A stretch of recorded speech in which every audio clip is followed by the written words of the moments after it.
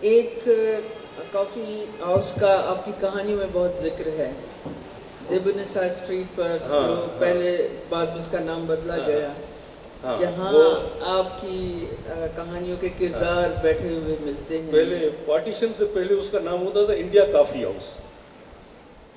India coffee house اس کی local میں آپ کو بتا دوں صدر میں وہ کوآپریٹو مارکیٹ ہے اس طرف اور سامنے ہے پوسٹ آفس کراچی کا۔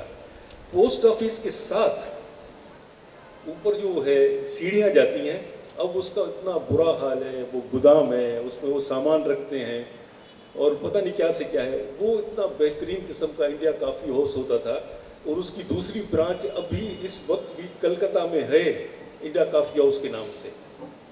اسی دور کی اور ایک ہی ان کا وہ پروپرائٹر ہوتے تھے۔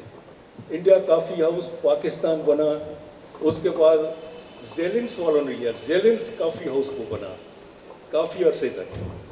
اور زیلنس کافی ہاؤس کے بعد کسی اور نے اس کو خرید لیا اس کو کنورٹیڈ انٹو گودام اور وہاں پر وہ ختم ہو گیا۔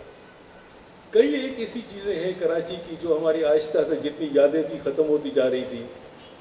آج کا کراچی کا کچرا دیکھ کر آج کے نوجوان بچے یقین نہیں کرتے کہ یہ اس شہر کی سڑکیں کہتے ہیں کہ روزانہ دھلتی تھیں تو یہ سچ ہے یا جھوٹ ہے؟ نہیں، یہ دھلنے والی بات کو میں وضاحت کر دوں۔ میں نے بڑی عجیب عجیب بات ہوگی گلاب کے پانی سے دھلتی تھی۔